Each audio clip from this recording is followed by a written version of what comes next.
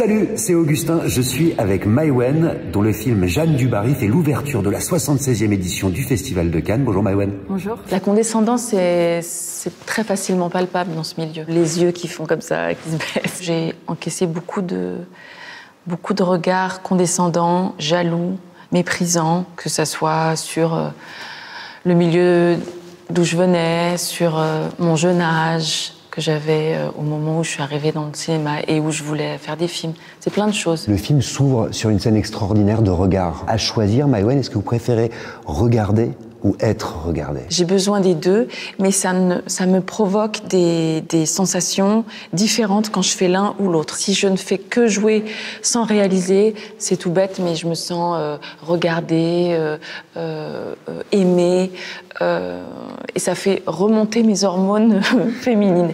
Et quand je ne fais que réaliser, ben, bizarrement, c'est vrai que je me sens beaucoup plus dans une bulle masculine, je me sens un peu pas annulée, mais en retrait du, du, monde. J'ai la sensation de, de, crier quand je réalise. Alors que quand je joue, euh, c'est plus euh, s'exprimer avec euh, la bienveillance d'un regard derrière. Mais il vient où ce désir, justement, vous le disiez, d'être aimé, d'être regardé? Ben, Ça vient d'où? C'est la nature humaine qui nous a fait comme ça. Qui n'a pas besoin de l'être?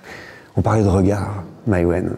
Avec le regard, vient le jugement. Qu'est-ce que vous en faites du regard des autres? J'essaie de me protéger, j'essaie de me dire qu'il faut euh, rester dans sa création, dans, dans ses idées, mais c'est pas toujours facile. Parce qu'il vous a blessé, ce regard? Oui, en tout cas, en l'occurrence, le film Jeanne du Barry, j'ai l'impression que parfois c'est une métaphore d'une période de ma vie où j'étais très jeune et où euh, je croyais que je ne serais pas blessée du regard qu'on portait sur moi. Vous faites référence à une période de votre vie, vous dites en particulier, c'est quel moment en fait C'est quand j'avais 15 euh, ans. Et où vous débarquez en fait dans ce milieu où j'étais amoureuse d'un d'un homme qui avait du pouvoir et où je sentais que pour euh, la plupart des gens, ce n'était pas perçu comme euh, de l'amour euh, sincère. C'était forcément perçu comme un homme attiré par une jeune fille et une jeune fille attirée par l'argent et le pouvoir. C'est très mal vu les, les, gens différents qui, qui s'aiment. On s'en remet de cette violence, de ce jugement, de ce regard? Oui, bien sûr, on s'en remet. Comment? On n'oublie pas.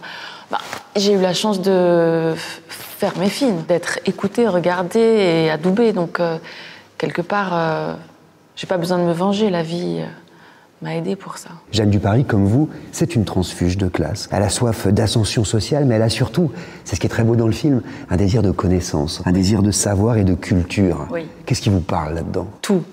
Tout, tout me parle. La volonté de se cultiver, elle comble un complexe d'infériorité puisque j'ai arrêté l'école à 15 ans, comme Jeanne. Et euh, je trouve que la curiosité participe aussi à notre euh, statut d'artiste. J'adore la curiosité. J'aime la curiosité, ce qui n'est pas exactement pareil que j'aime les gens cultivés. J'aime les gens curieux.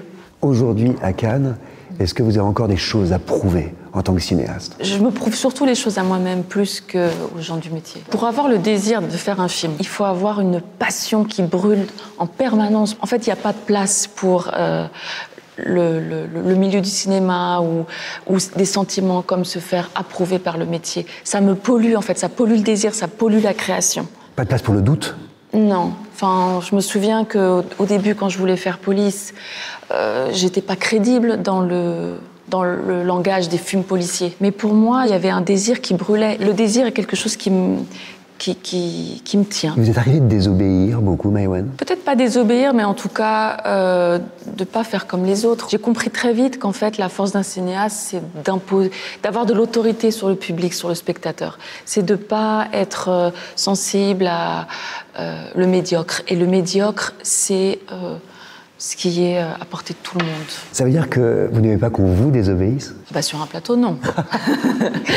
bien sûr, je ne suis pas un paradoxe près, bien sûr. C'est arrivé qu'on vous résiste, justement, qu'on résiste à votre mise en scène? Ah oui, après, c'est intéressant aussi d'avoir quelqu'un qui n'est pas d'accord parce que ça discute, ça débat et parfois il en produit des choses très intéressantes parce que euh, moi, j'arrive pas sur un plateau en ayant euh, la science infuse. J'adore que ça soit le fruit d'un travail collectif. À quoi on s'expose, Marie-Wayne, quand on refuse de se conformer aux règles, quand on impose justement euh, sa liberté?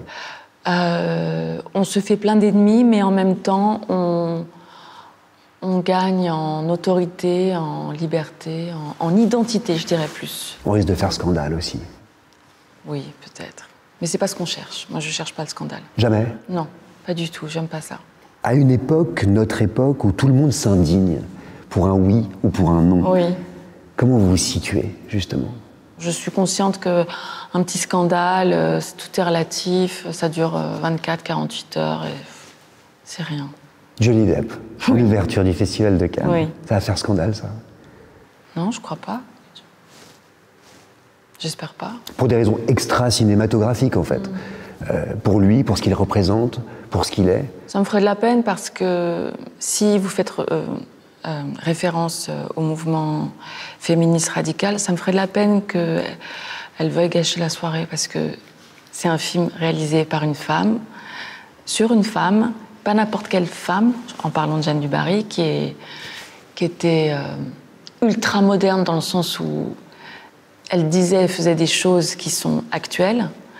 Donc, euh, ouais, ça me ferait beaucoup de peine. Pourquoi vous l'avez choisi, lui, pour incarner le roi? J'ai cherché à proposer le rôle à un acteur français et ça ne s'est pas fait. Après ça, je me suis dit j'ai le choix. Soit euh, je suis loyale à ma nationalité, je prends un acteur français que j'aime moyen, qui n'incarne pas, selon moi, la royauté, soit j'écoute mon désir et je reste loyale à mon désir. Et c'est à partir de là, je me suis dit, il n'y a pas photo, il n'y a, a pas de, doute. Je dois faire face à mon désir. Parce que j'adore l'acteur, parce que je sentais chez lui euh, les côtés du Louis XV que j'avais écrit, à savoir un, un roi euh, plein de, de paradoxes, d'arcs, euh, écorché, romantique, et puis un charisme qui, qui, qui- qui- qui est là sans parole. Il arrive quelque part et déjà, on sent que c'est un roi. On parle de scandale, Maïwen, et c'est ma dernière question. Qu'est-ce qui vous scandalise, vous, aujourd'hui? Bah, par exemple, que Jeanne Dubarry ne soit pas euh, connue comme elle méritait d'être connue, ça c'est quelque chose qui me scandalisait et c'est peut-être pour ça que j'avais envie de faire un film sur elle.